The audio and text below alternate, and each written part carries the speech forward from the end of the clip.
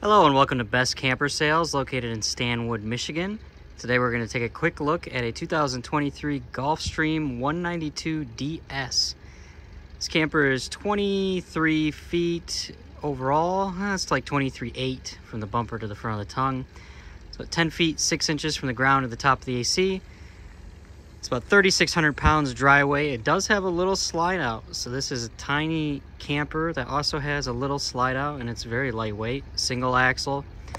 Uh, 36 gallon black tank. 30 gallon for the gray, 30 gallon for the black. Uh, classic wood frame construction with metal siding panels uh, and fiberglass insulation in between. Uh, it is not enclosed underbelly because it's a smaller, more stripped down camper. Uh, Gulfstream I say this in my other Gulfstream video. Uh, they have like four brands that they label on the side, but they're all the same floor plans and same build. That's why I always just say Gulfstream. Um, you might see it as an Amerilite, you might see it as a Conquest, a Innsbruck, a Kingsport. Uh, it doesn't really matter. They're all the same. They just use four different names because they have so many dealers across the country. So, it's got a power or a manual tongue jack, 20 pound LP tank, battery tray.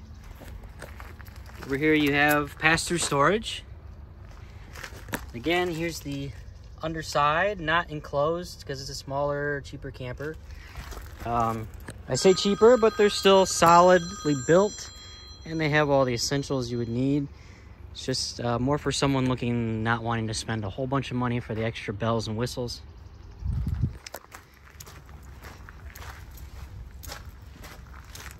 And over here, this side, there's your one little slide out. It is a TPO rubber roof, like uh, the vast majority of campers. The other side of your pass-through storage. Again, it is a single axle. Your city water connection hookup.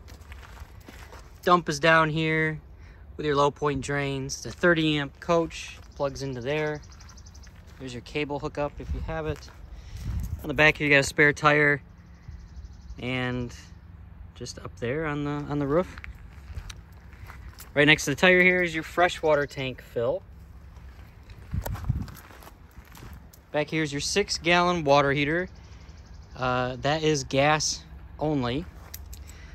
And then down here you have an LP quick connect to run off your propane tank for this little griddle that you can pull out and a little mini fridge. So this camper is very small, very lightweight, but it's still got an outside kitchen. It's still got a slide out. It's got a power awning, outside speakers. Here's your furnace exhaust. Uh, you even have the solid steps, just a two-stepper because it's a small camper, so it flips out from behind the door. And they even use MORryde for the solid steps, which is, in my opinion, nicer than the Lippert ones. If you ever see both side by side, you'll know what I mean. The MORryde, MORryde ones are just more solid, more stable. And this is also a Murphy bed setup. So if we step inside here, this is the bed down. A little wardrobe. And then the mattress. I'm trying to do this one-handed. Move the mattress, flip it over, move the mattress lift up this piece. And it latches right here.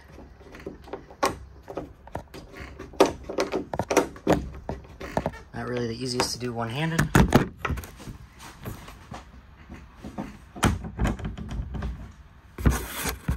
There we go. Got it latched. And then you got a sofa down here that can be turned back into a sofa. So you have some more seating space. There is storage underneath. And over here you have outlets and USB ports. Over here's your kitchen.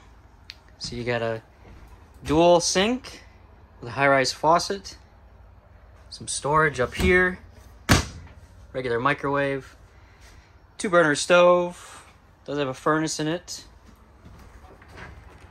Over here's your radio. This will be AM, FM, and Bluetooth. You can turn the speakers on or off on the inside or outside. Up here's your control panel so you can check your tank levels, your battery level, Move your slide out in and out, the awning in and out, um, water heater. Oh, I'm sorry, the water heater is actually electric and gas. So you can run on electric or gas, that's my bad. And your water pump. Uh, is up there. And then on the slide out, you have a U-shaped dinette. Table can go down and make into a bed. Do you have the bigger 12 volt refrigerator from Dometic?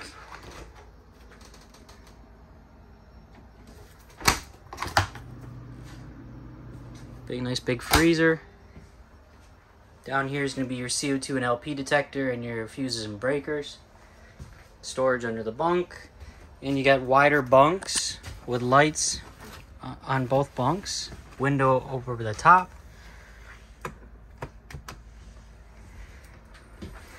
Uh, this is your thermostat for your furnace. And you can mount a TV right here.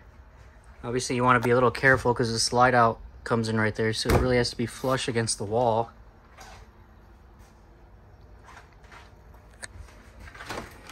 And in here you still got a you got a pretty spacious bathroom. You got a tub and shower. Um, a lot of people like the tub, and a lot of brands are getting away from the tub. So if that's something you want, this has it.